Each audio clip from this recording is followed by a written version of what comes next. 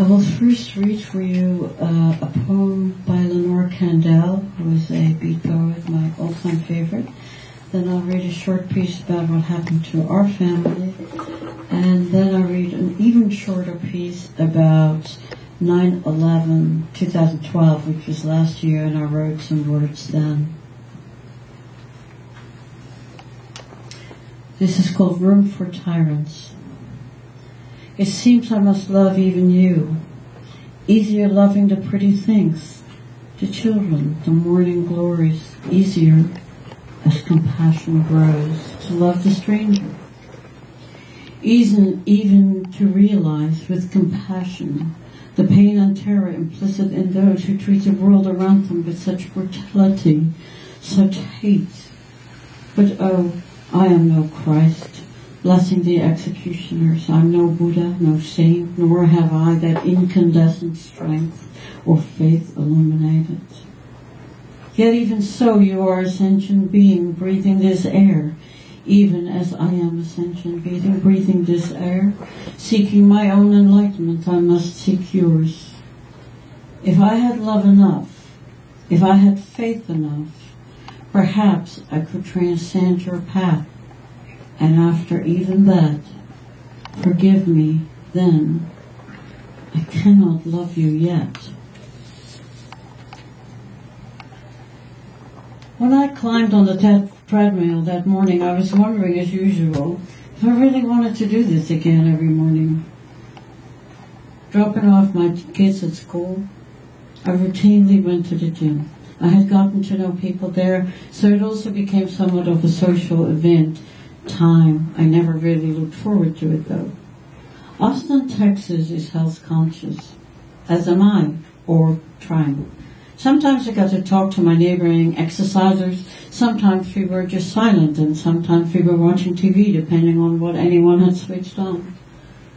This morning we were watching the news.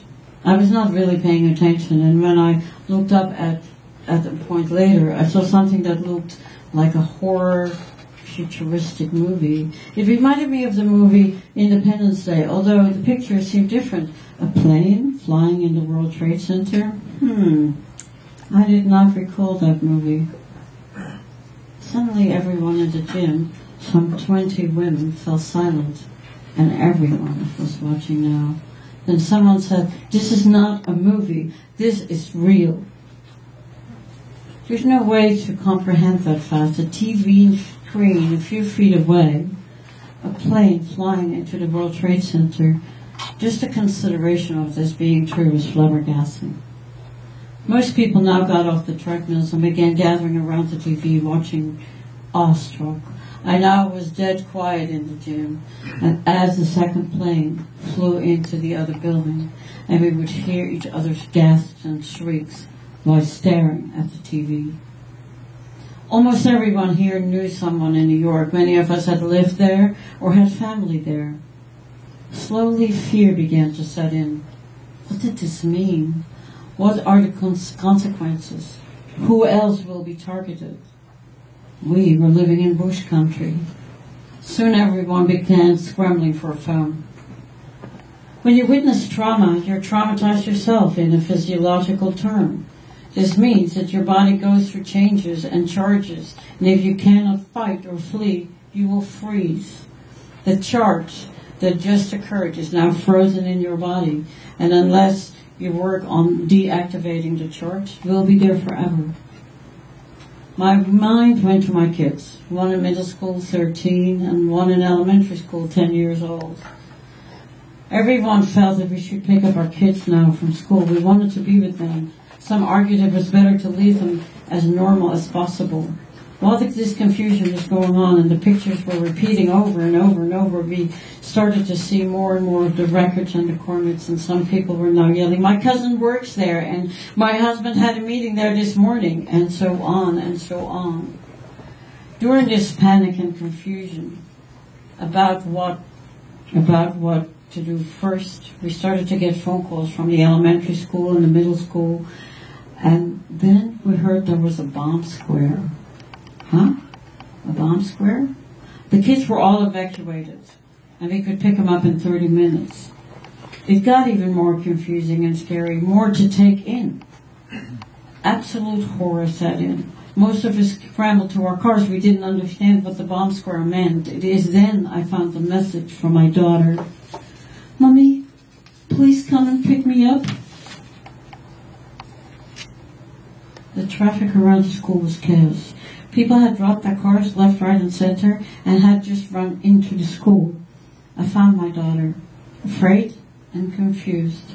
I turned out the teachers had not told them anything, but needless to say, they knew something was seriously wrong. They saw TV screens in other classrooms where there were no kids. She told she saw a teacher crying. She saw a group of teachers huddling together whispering. Why they decided not to explain anything at all to them, I will never know. I found some of her friends and we started calling the moms that were in, that were not there yet. And I said to the kids, all of you who do not have a parent, come with me and come and sit with me in the van. Again, teachers were nowhere to be found. I suspect they were also dealing with their own things. In the end, I stayed in the car with my only, with one other only girl and my daughter, and I decided to tell them what happened. For days, my daughter believed it had to be an accident. It must have been an accident. She could not wrap her head around it. When my son came home, wide-eyed and fearful, he told me he had seen everything. The teachers had been very open, and it seemed okay, even nobody could grasp then what far-fetching consequences would be. I had dinner with my daughter last night, now adult and in college, when they had talked about 9-11 extensively in freshman year. Two things stood out. Her classmates were amazed how much of confusion and chaos and fear it created in other parts of the country. It did not just happen in New York.